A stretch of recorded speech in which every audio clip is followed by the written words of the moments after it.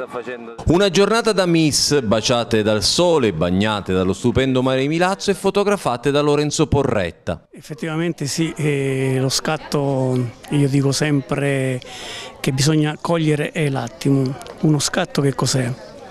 È l'attimo che precede eh, l'impatto emotivo, io dico sempre questo, sì. Tu sei voluto tornare qui all'Hotel Garibaldi. Già ci sono stato con un'altra miss e quindi mi piace il, il luogo, mi piace la, eh, la location, mi piace anche la scenografia che c'è, mi piace fotografare in questo posto. Il pianeta blu rappresenta l'origine della vita ed energia e serenità è così ospite della Seven Sailing di Milazzo, specialisti in escursione con le barche a vela, le Miss Regenette d'Italia e le Miss Regenette Over hanno trascorso un pomeriggio da ricordare.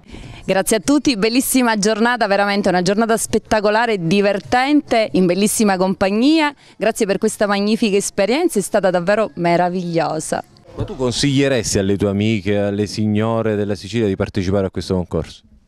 Allora, io lo consiglio vivamente perché io mi sono messa in gioco, mi diverto, mi faccio un sacco di foto e mi trovo bene.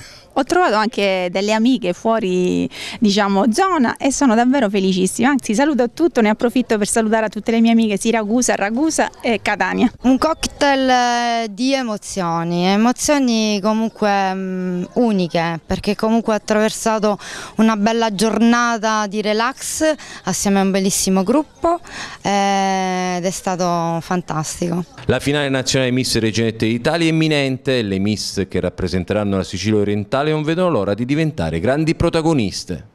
Miss Regenette d'Italia e anche questo, te lo aspettavi? Non me l'aspettavo, pensavo ci fosse più competizione e fosse un clima un po' più, più cioè meno comunque amichevole, meno, meno divertente insomma. Mister Reginetta è anche questo, io pensavo, sì allora me l'aspettavo un po', però comunque oggi ho avuto la conferma vera e propria, eh, Mister Reginetta non è solo concorso di bellezza ma anche divertimento. Scoprendo, sto facendo nuove esperienze, non mi aspettavo nulla di tutto questo e sono molto contenta. In attesa delle prossime selezioni che si svolgeranno a Naso il 29 luglio e a Brolo il 2 agosto, le Miss si godono le bellissime giornate calde dell'estate. Le iscrizioni sono gratuite e aperte a tutte coloro che hanno il desiderio di affrontare la passerella più ambita d'Italia.